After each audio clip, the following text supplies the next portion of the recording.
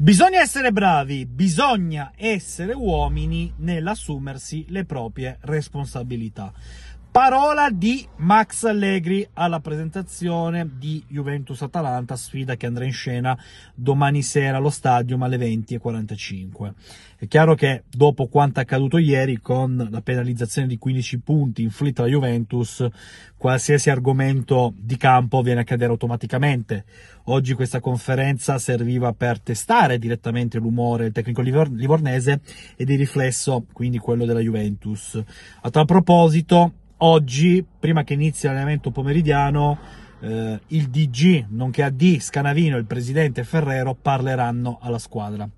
nonostante ieri ci sia stato già un primo confronto tra lo stesso Allegri e eh, Scanavino post decisione, quindi legata ai 15 punti di penalizzazione che portano la Juventus al momento ad avere 22 lunghezze in attesa di ricorsi e quant'altro, ma eh, questa è la minestra. E Allegri ha preso subito, immediatamente, coscienza della situazione, ha detto al momento la situazione è questa, quindi bisogna essere bravi a riaddentrarci nella classifica per fare in modo che poi tra due mesi, quando arriverà una sentenza definitiva, non ci siano rimpianti. Io credo che a livello di gruppo squadra questo sia l'unico atteggiamento percorribile, credo che sia il giusto atteggiamento a livello di gruppo squadra, a livello quindi di staff tecnico, di allenatore, perché in campo ci devi andare e devi spingere sull'acceleratore in campionato, in Coppa Italia, in Europa League. È ovvio che poi le vere partite si disputeranno in altre sedi che non hanno nulla a che fare con il rettangolo di gioco, ma questa è la minestra e quindi giunti a metà gennaio con una stagione che terminerà a livello di campo eh, a inizio giugno è l'unico, davvero l'unico atteggiamento che eh, il gruppo squadra possa avere. Allegri oggi in conferenza è stato con un profilo molto basso, ve l'ho detto anche lui, nel senso che eh, ha detto io non ho le competenze per poter analizzare questa sentenza. Eh, la Juve, come ha comunicato attraverso una nota ufficiale e con una dichiarazione dei suoi legali, farà ovviamente il passaggio successivo per tutelare il proprio orticello e per cercare quindi eh, di, di ribaltare una situazione che è molto complicata tanto complicata. Nel video di questa mattina, poi ne parleremo anche domani, eh, abbiamo discusso assieme no, di come non ci sia stata minimamente uniformità di giudizio, nel senso che eh, sembra che solamente la Juventus eh, abusasse o facesse uso di questo fenomeno del nome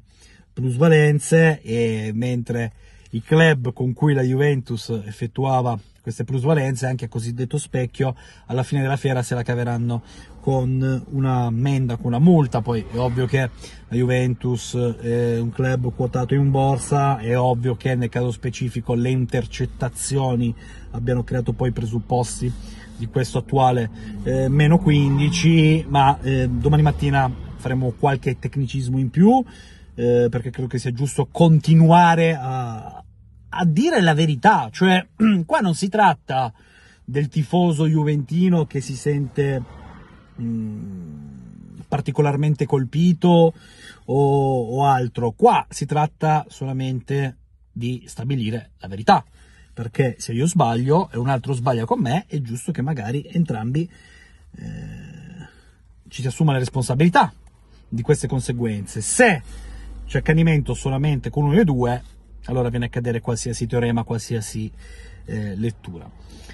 Allegri, Allegri ha detto quando gli è arrivata la richiesta inizialmente del meno 9 ho guardato quanti punti mancassero dalla Champions, quando poi è arrivata la sentenza del meno 15 ho effettuato il medesimo gesto. Eh, d'altra parte, il, davvero questo è l'unico modo per, per provare ad andare avanti, eh, sebbene lo ribadisco, il campo sia l'aspetto più secondario di questo mondo al momento. Il tifoso non vuole sentir parlare di probabile formazione, non vuole sentir parlare di Juventus-Atalanta. Credo che tanti tifosi addirittura questa partita non la guarderanno perché sono delusi, perché sono amareggiati, perché si sentono colpiti eh, nell'io. E quindi mh, mm, è comprensibile che ci sia anche eh, questa delusione, ma... Mh, in qualche modo il gruppo squadra deve andare avanti. Eh, oggi ho letto tante analisi, ho letto tanti messaggi su Twitter, è chiaro che l'anti-juventinismo acuto gode, eh, fa quasi passare che eh, solamente la Juventus abbia eh, teoricamente abusato di questo, di questo strumento, delle plusvalenze, ma io credo che si debba aprire davvero la testa, soprattutto gli occhi, e prendere coscienza del fatto che da 30 anni a questa parte le plusvalenze abbiano rappresentato la sostenibilità per praticamente tutte le società italiane. Basti pensare a che livello di degrado sia arrivato il prodotto sistema calcio Italia, che non è minimamente spendibile tra i confini nostrani, figuriamoci se poi parliamo di Europa, se poi parliamo in generale di mondo. Uh, fa ridere no? quando alcuni accusano la Premier League di essere diventata la Superlega. E, d'altra parte, eh, basti vedere no, anche un po' come sia stato governato negli ultimi anni il sistema calcio Italia. Però è normale che poi finisse così, con il sentimento popolare che tende a mettere esclusivamente il mirino a una Juventus, che in questo momento è in ginocchio, che in questo momento è fortemente in difficoltà, vuoi per un cambio a livello dirigenziale estremamente corposo, vuoi perché proprio il nuovo consiglio di amministrazione che è stato nominato il 18 gennaio ha principalmente un compito, se no un solo e unico compito, ovvero, ovvero scusate, difendere la Juventus presso uh, le sedi opportune e d'altra parte anche lo stesso neopresidente Ferrero quando il giorno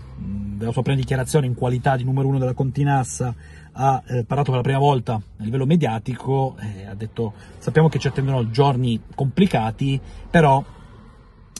il consiglio di amministrazione è settato in modo tale che questi giorni complicati possano essere affrontati in maniera adeguata. Questo è il riassunto. Eh, vediamo se fare un terzo video di giornata o se magari facciamo sicuramente il punto domani mattina proprio sui prossimi passi a livello legale della Juventus. Eh, però mh, sicuramente con Ferrero e Scanavino che parleranno alla squadra sarà interessante capire cosa si diranno eh, le parti mh, perché in questo momento bisogna fare quadrato e soprattutto chi lavora, chi tifa Juventus uh, deve andare avanti, deve andare avanti. Eh, è chiaro che io ho letto tantissimi, tantissimi commenti stamattina sul mio video, vi ringrazio di gente profondamente delusa che non vuole più vedere una partita e che davvero non ha la forza in questo momento per per andare avanti eh, in maniera basic, detta così, però il carrozzone c'è e quindi anche lo stesso Allegri oggi in conferenza mi sembra che abbia utilizzato le parole giuste, ho letto che qualcuno auspicava che potesse battere i pugni sul tavolo e potesse essere diciamo un po' aggressivo a livello comunicativo, ma secondo me oggi invece le parole del tecnico livornese sono state di grandissima lucidità, ha detto anche sono e resterò alla Juventus a meno che non mi mandino via perché